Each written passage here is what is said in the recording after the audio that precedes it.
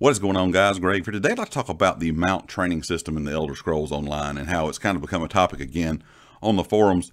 Uh, you know, people wondering why it's like it is, why it's not been changed. It's always is a topic, in my opinion, every couple months when new players start to come into the game, they realize how long it takes to rank up a mount.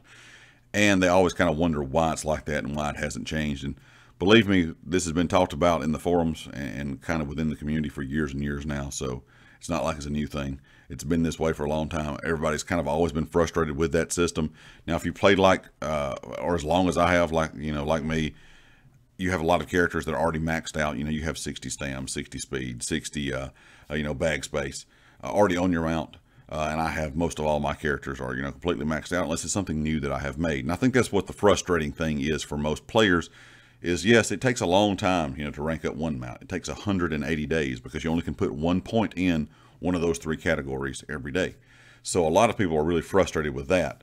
But the thing I think that really frustrates most of them is the next character they make. It's not like the speed carries over to your next character. So the next character you get on your mount is not, you know, whatever your other mounts are. You know, it's going to be back to zero. So I think that is a thing that really frustrates people is every single mount that you, uh, you know, or every single character you make in game has to have, you know, 180 days worth of upgrading just to get, you know, max speed, max stam, and, uh, you know, max bag carry space. And I think the reason a lot of new players are always asking this question, you know, every couple months is because they have a lot of friends that play. You know, they may be playing with friends that have played for a while.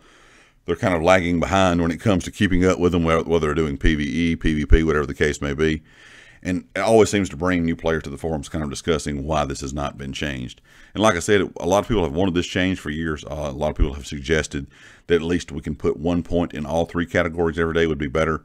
Uh, of course, the biggest suggestion has always been, like I said, just kind of allow us to, you know, always have whatever uh, whatever our highest speed, stamina, and, and bag space is, you know, on, on our main first character you make, that is what it is across the board, kind of for all, all your other characters you make as well. And of course, when you get to the, you know, max 60, 60, and 60 like myself, you know, all my characters, when I make a new character, it would automatically just be that. And I wouldn't have to start over uh, ranking up that mount again with a new character. So leave me a comment, guys, with your thoughts. Let me know what you think about it. And of course, if you like the video, hit the like. If you hadn't subscribed yet, please do so. And I'll catch you next time. Peace.